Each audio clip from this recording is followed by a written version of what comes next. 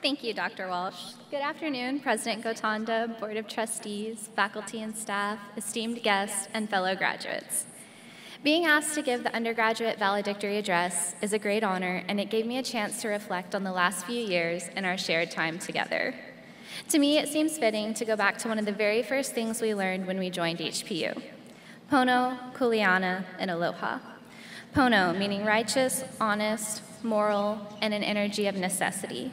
Kuleana, meaning responsibility and rights, and concern for all interests, property, and people. And finally, aloha, meaning hello, goodbye, love, kindness and grace, unity, humility, patience, and waiting for the right moment. These values have guided our time at HPU. Over the past four years, we have witnessed so many historic events. The Me Too movement, a chaotic presidential election, Brexit, fires in the Amazon, the Hong Kong protests, the racial justice movement, the war in Ukraine, plastic being found in the human bloodstream, and of course, COVID 19 fundamentally changed our college experience. These are just a few examples of what has occurred while we have been here pursuing our degrees. While these things certainly made our college experience unique, we are not passive subjects to these events. We can look at the events that grabbed our attention, and the article you read that made your heart drop, or a lecture that stuck with you, and choose to say, This is the problem I want to help fix. Maybe you've already done this. Maybe your time at HPU solidified your commitment to a field, or maybe you changed your major and found your place. But if you've been so overwhelmed with just getting to the finish line, take a breath. You've accomplished this goal.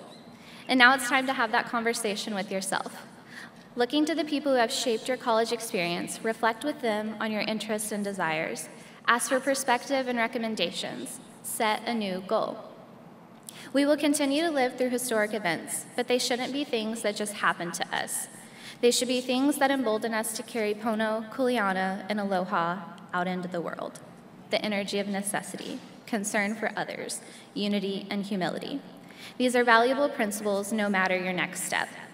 Today we celebrate how far we have come, but it is by no means the end of our education. I'm lucky to have personal relationships with so many in this graduating class, and I'm so excited to witness the impacts you will all have as we move forward into the world, finding the problems we want to solve. If I can make one more suggestion to you all, especially today, take the time to thank people who have helped you on your journey. My family, watching on the East Coast, the countless other faculty and staff and friends that have supported me through the twists and turns of college, and finally, mom and dad, Thank you for your support, love, and encouragement. Congratulations, class of 2022.